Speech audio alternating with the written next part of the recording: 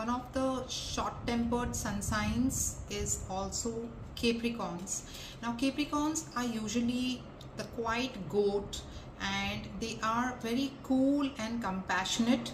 But if you tend to push them a little against anything that they don't like then they have a short fuse which can turn into a short circuit. So don't try to go against their law and order.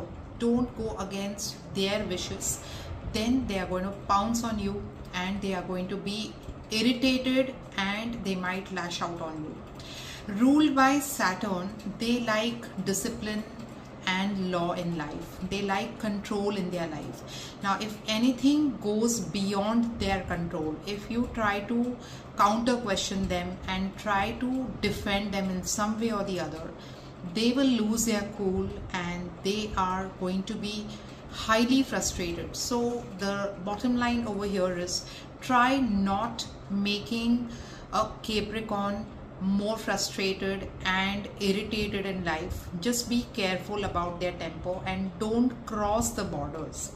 Once you listen to them you are in their captivity. They are your friends. Otherwise they can really be big enemies. So please be careful when you are dealing with a capricorn